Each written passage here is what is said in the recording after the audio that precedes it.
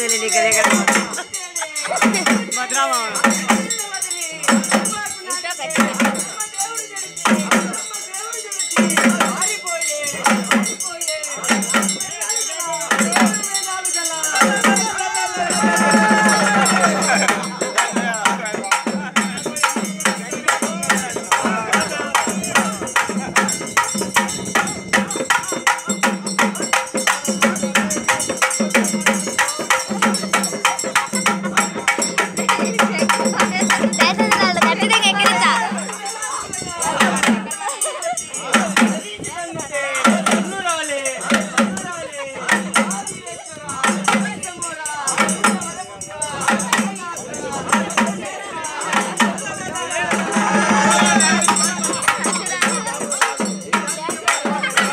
Hehehe